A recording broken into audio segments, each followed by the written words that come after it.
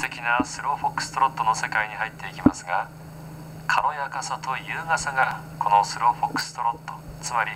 狐がのんびり小走りしているような特徴をまず知っておきましょう。他のスイングダンスでも同じような技術が求められますがことこの踊りに関しては特殊なフットワークが多く含まれますので注意が必要です。実際のところフォックストロットではその音楽性からも大きなスイングは要求されません。その分フットワークの正しい知識を通して途切れなく進んでいくアクションが求められその点が大きな特徴となります。そこでフォックストロットにおけるフットワークを見ていくことにしましょう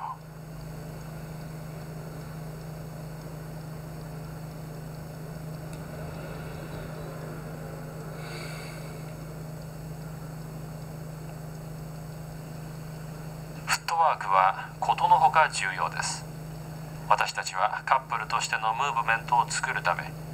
足は体重を移動するための車のような推進していく装置として使わなければなりません。そのため足は自分が行こうとする進行方向と反対の方へ床を押し出すようにして使わなければなりません。ではこのテクニックが当てはまる簡単なエクササイズをお見せします。皆さんのフットワークを向上させるためにもそしてスローフォックストロットの動きを向上させるためにもこの練習法を強くお勧めします。皆さんにお勧めするのはこの練習法です。それは単に次の練習を繰り返し行うだけなのですがまずはじめにフェザーステップ続けて3ステップもう一度フェザーステップこれを繰り返し練習します。このポジションからもう一度やってみましょう。フェザーステップ。3ステップ。フェザーステップ。先ほどお話ししましたが行きたい方向とは反対の方に足を使いエンジンのかかった車のようにボディを運んでいきます。つまり私が前進したい時足は床を後ろに押しやるようにして使うのです。私が前進しようとする時私は前の足で床を引き寄せることでボディを前に動かしていきます。足で引き寄せるのです。このように。この時女性は交代の動きになりますから彼女は足で床を前方に押しやるようにして交代の動きを起こしそこにボディを乗せていくようにします。よろしいでしょうか？ではフェザーステップの予備歩から見てみましょう。私は左足で床を引き寄せるように女性は右足で床を押すように使います。次の男性の右足は床を捉えると床を引き寄せるようにして使います。男性の3ステップではこのアクションを繰り返し行います。このようにです。このようにして私はより流れるようなムーブメントとより滑らかな計測したボディの移動を作り出しているのです。それではリバースウェーブでの使い方も見ていきましょう。準備はよろしいでしょうか？Slow, quick, quick, slow, quick, quick, slow, quick, quick, slow. ここでは反対に女性は床を引き寄せるように足を使い男性は反対に床を押すようにして足を使います。リバースウェーブに関しては私はフットワークに大変気をつけています。フットワークです。この右足をトーヒールでスローと入るところから男性のアクションが始まります。そして左足のクイックですがこの時の右足はヒールで床を押し合ってからピックアップして左足のトーを使ってわずかにライズしてから右足のクイックに入ります。こうです。今度は反対に左足でスローと入り次の右足のクイックをステップするときは左足のヒールが床にコンタクトしています。ご覧のように。リバースウェーブにおける女性のフットワークも非常に大切です。ではそれについてはアレシアに説明してもらいましょう。女性の動きですがリバースウェーブでは男性が行う3ステップとフェザーステップを踊るような感覚です。ここからの一歩目を分解するとこのようになります。まず私は今サポーティングフットとなっている右足で床を圧縮します。そうすることで左足を押し出す動きにつながりますからヒールから出ていきます。左足を使って自分を押しますが前進なので床に対しては後ろに押します。軸足で押しながら次の足はヒールから出ます。左足に乗ると直ちに先ほどの右足と同じようにつまり左足でボディを引き寄せ右足ヒールから出ていきます。次も同じように右足で床を引いてボディを前進させます。この右足ではライズはしません。男性の動きに合わせます。その後も足の裏を使って床を圧縮して前進を続けますが次の動きでも再び床を圧縮してアクションを作り出します。そしてこの場合はインラインに出ていきます。左足から押し出された右足から始まりまずヒールを使い足の裏と脚部で次の左足を押し出します。左足は頭から。最後の右足はトーヒールです。さてこの練習方法をポジションを無視してお見せしましたがこの難しいフットワークを正確に踊れるように正しいポジションで練習することをお勧めします。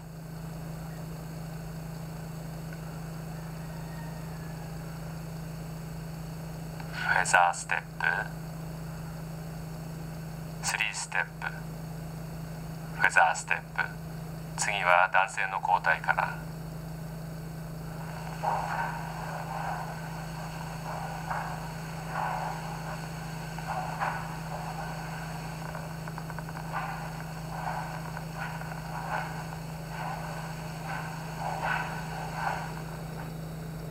ご覧のように場所を取らないエクササイズですから通路でも練習できますね。さて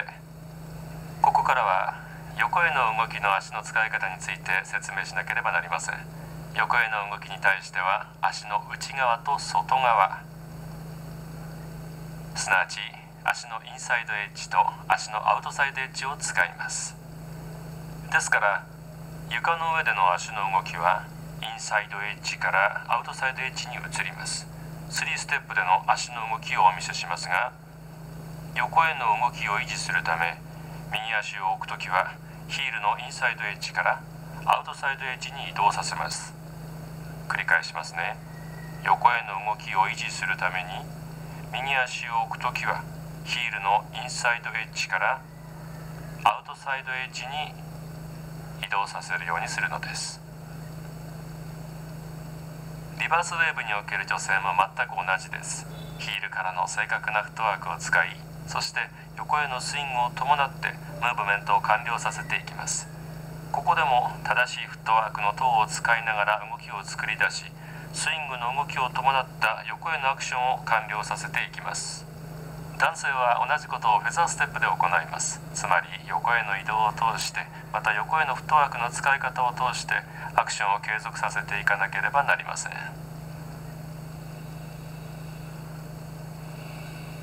男性は自分の前にいる女性をアタックするかのように突進してはいけません。常に女性を一方からもう一方へと避けるように抜けていくように踊らなければなりません。さてウィーブですがウィーブは横のムーブメントにおいてフットワークがより繊細な使われ方をするのでそれをお見せするのにうってつけのエクササイズになります。フットワークが足のインサイドエッジからアウトサイドエッジに使われる良い例です。ウィーブを踊る時ですが男性の左足はアウトサイドエッジからインサイドエッジへと使い次の右足はインサイドエッジからアウトサイドエッジを使います。このようにして私はコネクションを保ちつつ動きの流れが途切れないようにします。交代に入ると私は足を押し出し一方女性は床を引き寄せるようにして足を使います。女性のフットワークはインサイドエッジからアウトサイドエッジそしてアウトサイドエッジからインサイドエッジと使います。私の左足はインサイドエッジからアウトサイドエッジに使い右足はアウトサイドエッジからインサイドエッジです。この時の女性の左足はインサイドエッジからアウトサイドエッジに。右足はアウトサイドエッジからインサイドエッジと使います。足を一方のエッジからもう一方のエッジへ。ヒールから頭へと足を徐々にめくるように使うことによって自動的にスローフォックストロットの流れるようなスムーズなムーブメントを作り出すことができるのです。さてスローフォックストロットにおける床の上での足の動きを分析しました。それではスローフォックストロットでのとても重要なテーマであるスイングについて分析したいと思います。スイングの手法は床を通じて体の重みをかけることで成り立っています。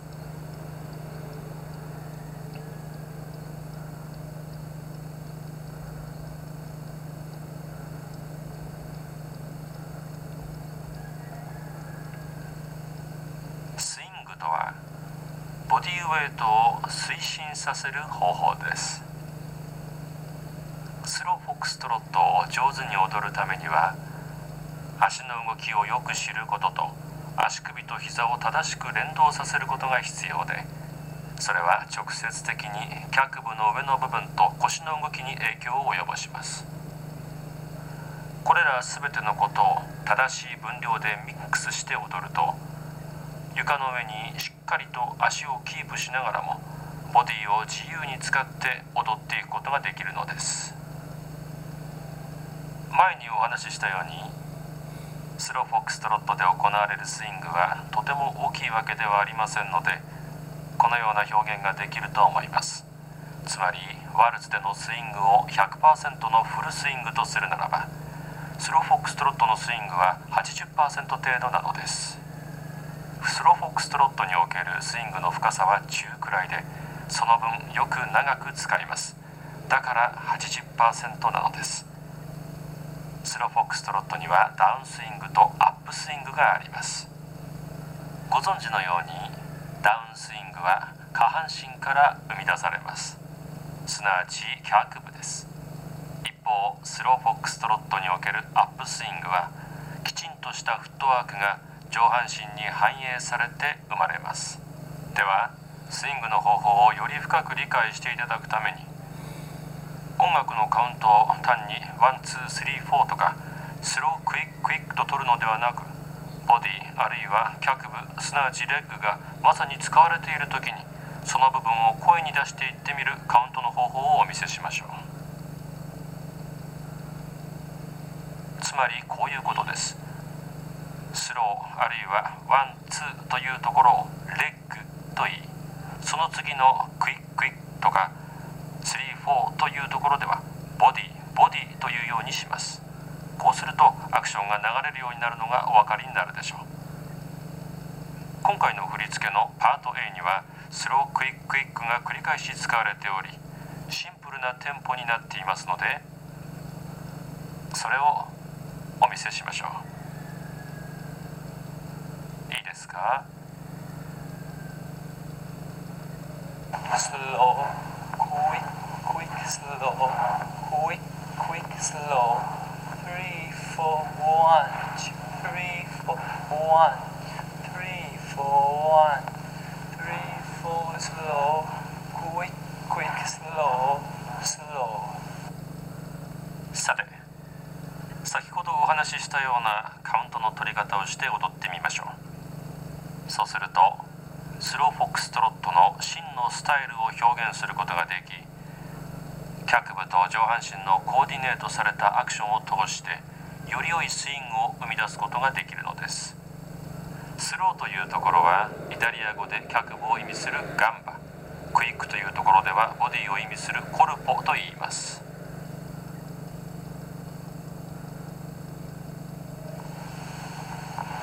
Gambe, corpo corpo gam corpo corpo gam corpo corpo gam corpo corpo gambe, corpo corpo gambe, corpo corpo gambe, corpo corpo gambe. さてご覧になったように私がガンバつまりレッグと言いながら踊ったところではダウンスイングを起こし脚部により大きなエネルギーを起こしています。私がコルポすなわちボディと言っている時私は足の上に全体重を運びスイングムーブメントのバランスをとっています。ではここでペンジュラムスイングとメトロノミックスイングについてお話ししましょう。ペンジュラムスイングは音楽のワンツーにあたり脚部が振り子のように動いていきます。脚部が振り子のように動いていくのです。よろしいでしょうか？メトロノミックスイングでは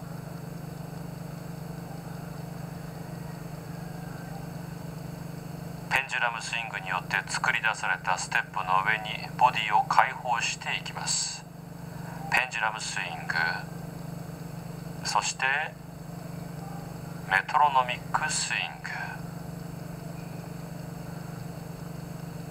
こうした2つのアクションがあることを理解しておくことは大変重要です。ダンスイングとアップスイングこの2つをよく分析し音楽に完璧に合わせて表現してください。ダウンスイングのアクションはアップスイングのアクションよりゆっくりしているのです。お分かりでしょうか？でも音楽と合わない踊りをしているのをよく見かけます。前にもお話ししましたがワンツーのところはゆっくりと踊ります。先ほど gamba すなわちレッグと言いました。スローカウントのところには2拍ありますからね。そして3-4のところはクイックカウントでアップスイングしていくところです。 corpo corpo すなわちボディボディでしたね。音楽は3拍目でアクセントが来る傾向にありますので3-4のところを早くしなければなりません。それでは今まで見てきたさまざまな要素を使って今回の振り付け全部を踊ってみましょう。